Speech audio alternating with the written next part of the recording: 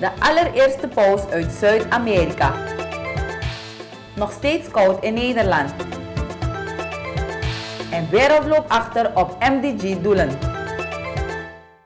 Goedenavond en welkom erbij. De nieuwe paus, Franciscus, is 76 jaar en komt uit Argentinië. Het is voor het eerst dat de paus uit Zuid-Amerika komt. Hij komt uit Argentinië. Op het Plaza de Mayo, een plein in de hoofdstad van Buenos Aires, kwamen tot diep in de nacht de gelovigen bijeen om feest te vieren.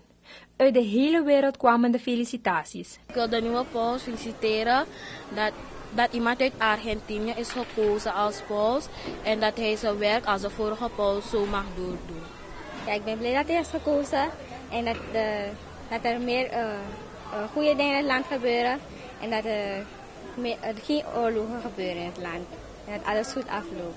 Ik feliciteer de paus alvast dat hij gekozen is. Ik ben ook heel blij dat hij gekozen is. En dat, hij, dat, hij zijn werk goed, dat hij zijn werk goed kan doen. En dat God hem kan zegenen met alles, dat hij, met alles met elkaar gaat doen. Paus Franciscus volgt Benedictus XVI op, omdat hij vorige maand met pensioen ging, omdat hij de kracht niet meer heeft om de Rooms-Katholieke Kerk te leiden. Het is bijzonder dat er zo snel een nieuwe paus is. Iedereen had er rekening mee gehouden dat het zeker een week zou duren. Hij werd genoemd, een Argentijn. Uh, dus het was al verwonderlijk van, hé, hey, een Argentijn wordt gekozen. Dus eentje uit ons continent, Zuid-Amerika. Dat was een verheugend bericht. Het doet altijd goed als het dicht bij huis is, dan uh, het geeft een beetje herkenning.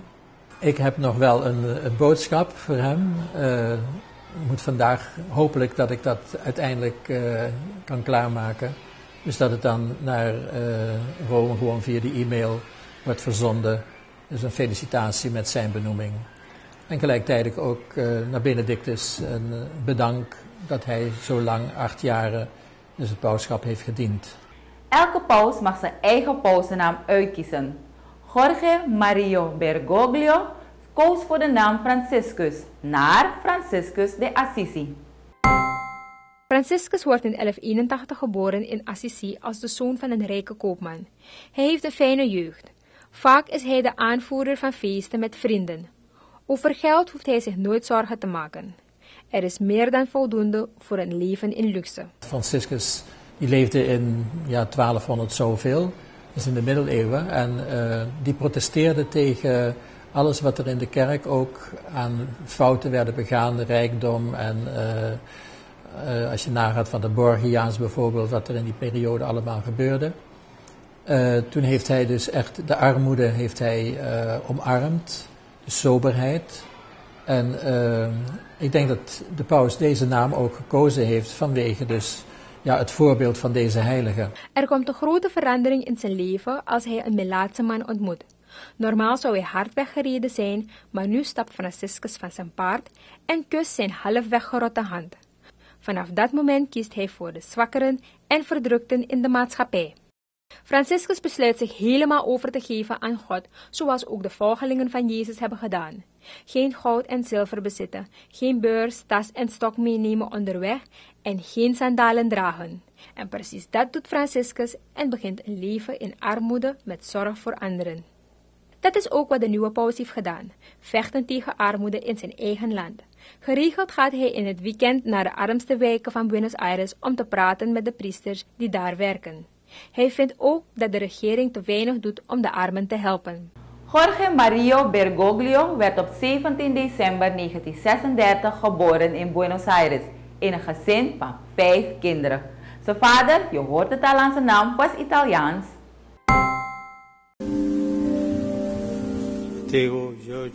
Al op jonge leeftijd studeerde hij aan het seminarie.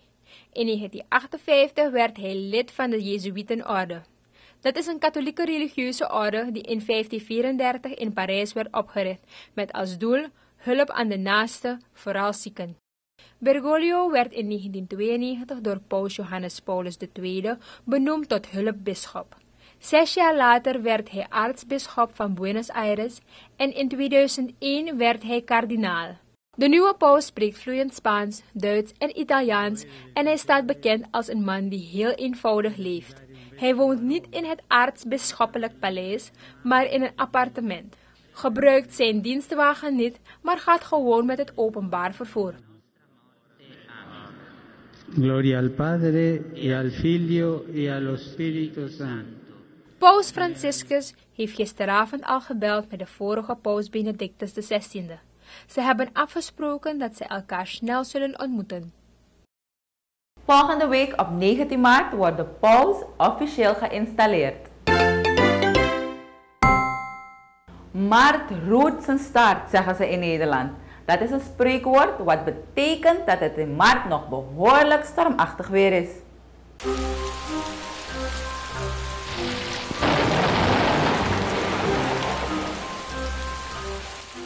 En het is helemaal waar, want 5 maart was de warmste dag in maart ooit. En nog maar een paar dagen later was het zo koud dat er weer een record gebroken is. In Limburg, dat is in het zuiden van Nederland, werd het zelfs 13,3 graden onder nul. Nu is het overal weer koud en valt er weer sneeuw. Pas in het weekend wordt het weer iets warmer, maar niet echt veel. Ook in Suriname staat het weer op zijn kop. Nu is het een kleine droge tijd, maar de afgelopen weken hebben we zoveel buien gehad dat je zou denken dat het een grote regentijd is. Nog maar twee jaar te gaan, dus moeten we hard aan het werk.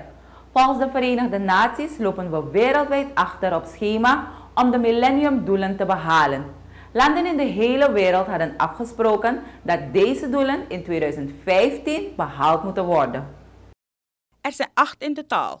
Deze zijn armoedig, ziekte, ziekte te bestrijden zoals malaria, HIV, AIDS. Verminderen van de kindersterfte, gelijke rechten voor mannen en vrouwen, Ondervoeden kinderen dat ze eten krijgen en alle kinderen naar school gaan, dat ze wel iets kunnen leren en iets kunnen worden in de maatschappij. verbetering van de gezondheid van moeder, betere zorg voor het milieu en een goede samenwerking tussen landen in de wereld. De regering is hard bezig op, op hun manier hun bijdrage te leveren. Zij hebben het verdrag getekend in 2000, uh, welke betekent dat wij samen met de bevolking deze doelstelling moeten halen bij, uh, bij 2015. Ik vind het wel goed dat de regering bezig is met mensen die geen huis hebben, kinderen die niet naar school gaan en kinderen die honger lijden. De VN zegt dat het beter moet. In 2000 hebben een aantal landen de Millenniumverklaring getekend. Daarin staat dat deze landen zich willen inzetten de doelen te halen voor 2015. Ook Suriname tekende dit verdrag. Om de zoveel tijd wordt gemeten hoe ver we staan met het behalen van de doelen. Dus bij de volgende meting moeten we dichter bij de eindstreep liggen. We kunnen allemaal een steentje bijdragen om de doelen te behalen. Bijvoorbeeld geen petflessen zomaar over straat gooien of etensresten uit de auto of de kraan dichtdraaien bij het poetsen. Abo, dat is het dan weer voor vandaag. Tot morgen. Doei doei!